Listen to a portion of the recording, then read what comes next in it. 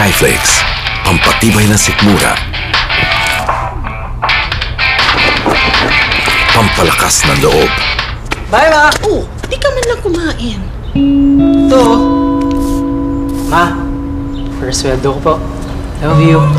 Dahil maaasahan ka na ng pamilya, asahan mo ang Skyflakes.